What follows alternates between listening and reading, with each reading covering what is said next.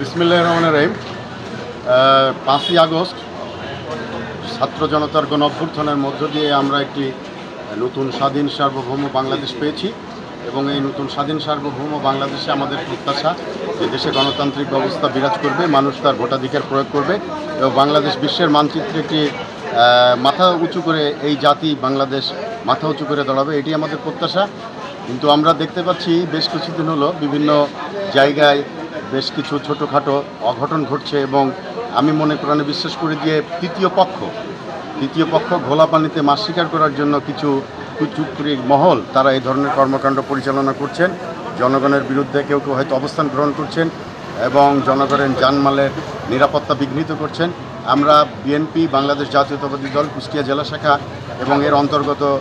কোনো সহযোগী এবং অঙ্গ সংগঠনের কোনো নেতাকর্মীরাই কোনো অপরাধ কর্মের সঙ্গে জড়িত নয় এবং আমরা মনে প্রাণে বিশ্বাস করি আমাদের নেতা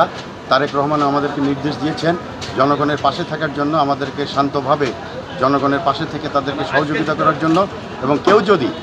তার নির্দেশ এবং বিএনপির নির্দেশ অমান্য করে কোনো অপরাধ কর্ম সংগঠিত করে, তাহলে অবশ্যই তার বিরুদ্ধে বিএনপি আইনানুগ ব্যবস্থা গ্রহণ করবে। আসলে দেখেন, আমরা দীর্ঘ ষোলো বছর আওয়ামী দুঃশাসনের বিরুদ্ধে লড়াই করতে গিয়ে আমরা প্রশাসনের পক্ষ থেকে অনেক আমাদের উপরে নির্যাতন এবং চাপ ছিল, আমরা স্বাধীনভাবে আমরা আমাদের সাংগঠনিক কর্মকাণ্ড কখনো কখনো করতে পারি না পুলিশের কারণে, পুলিশের বাধার কারণে। কিন্তু এখন আমরা মোটামুটি মনে প্রাণে বিশ্বাস করি যে এখন সেই সাংগঠনিক ভিত্তি মজবুত করার সময় এসেছে এবং আমরা স্বাধীন মতো আমাদের সাংগঠনিক কর্মকাণ্ড আমরা পরিচালনা করতে পারছি। এবং আপনারা জানেন, বিএনপি বাংলাদেশের সবচাইতে বৃহৎ রাজনৈতিক দল এবং এই রাজনৈতিক দলের প্রত্যেকটি পাড়ায়, মহল্লা পর্যন্ত আমাদের গ্রাম পর্যায় পর্যন্ত আমাদের সংগঠন রয়েছে, সংগঠনের নেতাকর্মীরা রয়েছে এবং আমরা আগামী নির্বাচন, জাতীয় সংসদ নির্বাচন ফেস করার জন্য একটি রাজনৈতিক দলকে যেভাবে সুসংগঠিত করা করা যায় এবং নির্বাচনী বৈতরণী, নির্বাচনে জয়লাভের জন্য যে সাংগঠনিক ভিত্তি প্রয়োজন, সেই ভিত্তি মজবুত করার জন্য আমরা সার্বক্ষণিকভাবে চেষ্টা করছি। আমরা জেলা, থানা ইউনিয়ন ওয়ার্ড পর্যায় পর্যন্ত গ্রাম পাড়া মহল্লা পর্যন্ত আমাদের দলীয় নেতাকর্মীদেরকে সংগঠিত করে আমরা সেখানে ইন ফিউচার কমিটি গঠন করব করে আমরা এভাবে সাংগঠনিক বিএনপির সাংগঠনিক শক্তিকে কুষ্টিয়ায় আমরা প্রতিষ্ঠিত করব। এই যে কুষ্টিয়া জেলায় যেসব আপনাদের দলের নেতাকর্মী আছে বিএনপি এবং সহযোগী সংগঠনের যেসব নেতাকর্মী আছে তাদের উদ্দেশ্যে কোনো কথা বলবেন কিনা? হ্যাঁ, অবশ্যই জননেতা তারেক রহমান আমাদেরকে নির্দেশ দিয়েছেন ইতিমধ্যে দেখেছেন আপনারা বন্যা কবলিত হয়েছে, কৃত্রিম বন্যা সৃষ্টি করা হয়েছে এবং সেই বন্যা কবলিত এলাকার মানুষের লাখ লাখ পানিবন্দী মানুষের সাহায্যার্থে বিএনপি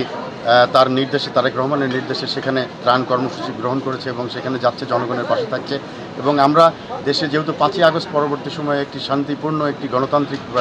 শাসন ব্যবস্থা কায়েম হয়েছে এবং একটি তত্ত্বাবধায়ক সরকার প্রতিষ্ঠিত হয়েছে, আমরা এই তত্ত্বাবধায়ক সরকারকে আমরা সহযোগিতা করব। আগামী জাতীয় নির্বাচন যাতে সুষ্ঠু একটি অবাধ এবং নিরপেক্ষ নির্বাচন হয়, সেটি করার জন্য এবং জনগণ বাংলাদেশের অভ্যন্তরে যাতে কোনো দুষ্কৃতিকারী, কোনো গোষ্ঠী যাতে আবার কোনো অরাজকতা সৃষ্টি করে পাঁচই আগস্টের যে গণভ্যুত্থানের যে ফসল, সেটাকে যাতে নস্বাত করতে না পারে সেই চেতনাকে যাতে ধ্বংস করতে না পারে, সেজন্য আমরা কুষ্টিয়াতে যে বাংলাদেশ জাতীয়তাবাদী দল, বিএনপি এবং এর অঙ্গ সংগঠন সময়ের নেতাকর্মীরা আমরা তৎপর রয়েছি। যে আওয়ামী লীগ সরকারের আমলে আপনাদের অসংখ্য নেতাকর্মী কিন্তু কুষ্টিয়ার নানা নির্যাতন নিপীড়নের শিকার হয়েছে। সেই ক্ষেত্রে কিন্তু এই যে পরাধীন বিচার বিভাগের কাছে আপনারা দাবি জানাতে পারেননি, কোনো বিচার পাননি। পুলিশ, থানা পুলিশের কাছে গিয়ে বা পুলিশের কাছ থেকেও কিন্তু আপনার বিচার পান নাই। সেই ক্ষেত্রে সেই সব নানা নির্যাতন যে নিপীড়নের ঘটনায় কি আপনারা কোনো আইনগত ব্যবস্থা গ্রহণ করবেন কি না আসলে দেখুন, এটা তো আইনের বিষয়। আমরা বাংলাদেশ জাতীয়তাবাদী দল এবং আমাদের নেতাকর্মীরা সবসময় আইনের শাসনকে মনে প্রাণে বিশ্বাস করে, আইনের শাসন প্রতিষ্ঠিত দেশে সেটি চাই। অতীতে আমাদের উপরে অনেক অত্যাচার হয়েছে, পুলিশ অত্যাচার করেছে আমাদের উপরে দীর্ঘ ষোলো বছর এবং আমরা বিচার বিভাগ থেকেও কিন্তু সঠিক ন্যায্য বিচার পাইনি। যেমন দেশনেত্রী বেগম খালেদা জিয়াকে একটি ফেব্রিকেটেড মামলায় তার, তাকে দণ্ডাদেশ দেওয়া হয়েছিল। একজন সাবেক প্রধানমন্ত্রী, একজন বয়স্ক মানুষ হিসেবে তাকে যেভাবে অন্যায়ভাবে তাকে কারাদণ্ড দেওয়া হয়েছিল, যে বিশ্বের ইতিহাসে নজির তা আমরা দেখব অবশ্যই আইনের ভাষায় যদি কেউ অন্যায়ভাবে বিচার বিভাগের মধ্যেও কেউ যদি দলীয় নির্দেশে, আওয়ামী লীগের নির্দেশে এবং প্রধানমন্ত্রী শেখ হাসিনা তার নির্দেশে যদি এই ধরনের কোনো বিচার বিভাগের উপর হস্তক্ষেপ করে যদি আমাদের নেতাকর্মীদেরকে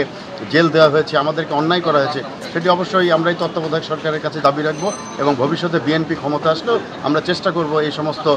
অনিয়ম যারা করেছে, অন্যায় যারা করেছে, আইনের শাসন যারা ভঙ্গ করেছেন, তাদের বিরুদ্ধে আইনগত ব্যবস্থা গ্রহণ করা